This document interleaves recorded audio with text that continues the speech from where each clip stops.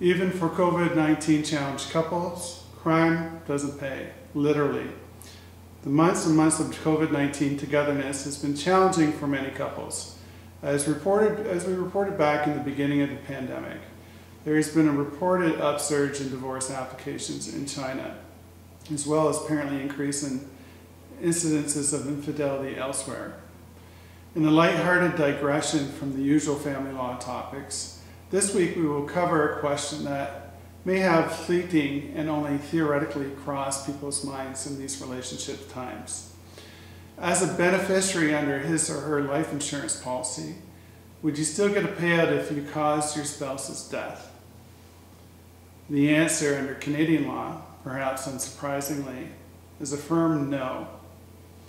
Under what is known more colloquially as the Slayer Rule, this legal concept precludes a person who causes the death of another person and who is also a beneficiary under that person's life insurance policy from profiting from that crime by receiving the insurance proceeds.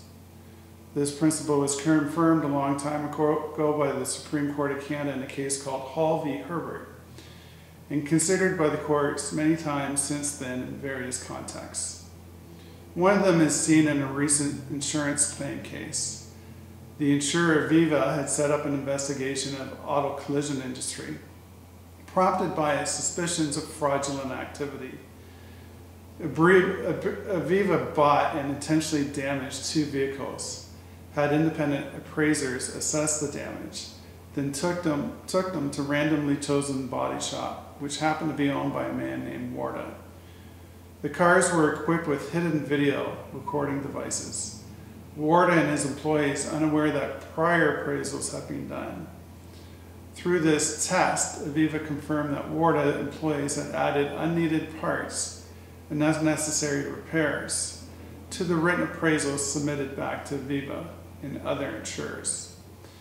Aviva also sued Warda directly for various fraud-based claims, including making repairs that were not necessary, deliberately and fraudulently damaging vehicles so that they would need repairs, and staging motor vehicle accidents.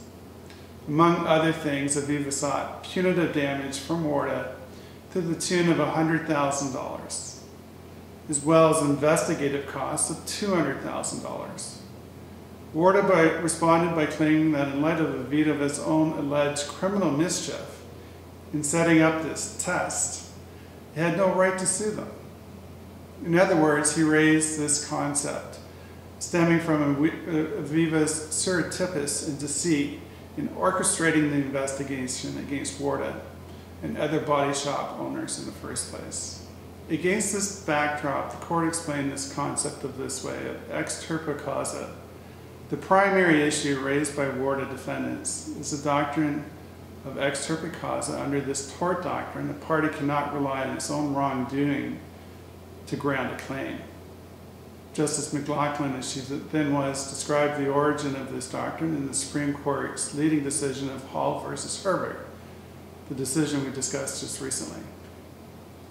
The power expressed under this doctrine finds its roots in the insistence that the courts, that the judicial process not be used for abusive illegal purposes.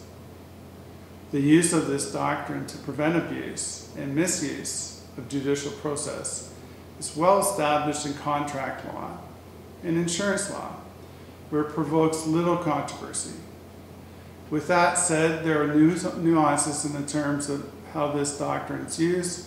At least one important distinction should be drawn. The doctrine prevents a person from profiting on the basis of illegal or immoral conduct, but does not prevent the person from being compensated for loss in the circumstances where he or she otherwise be entitled to it. This was seen in the Hall case where the Supreme Court of Canada considered the scenario where a man had a car accident while in the midst of committing a criminal offense and suffered head, head injuries. The court concluded that this doctrine did not operate to preclude him, as the injured party, from going after compensatory damages relating to these injuries, even though he had sustained them while engaged in a crime. Please give this video a thumbs up, comment below, and share it with your friends and family. Subscribe to stay up to date with, in family law issues and future videos. We'll have upcoming videos such as the topics of a day in the life of a family lawyer and other Q&A videos as well. You can submit your questions to us via social media and be sure to hit the bell icon to be notified when we post these new videos. Thank you for watching today. Until next time, I'm Russell Alexander.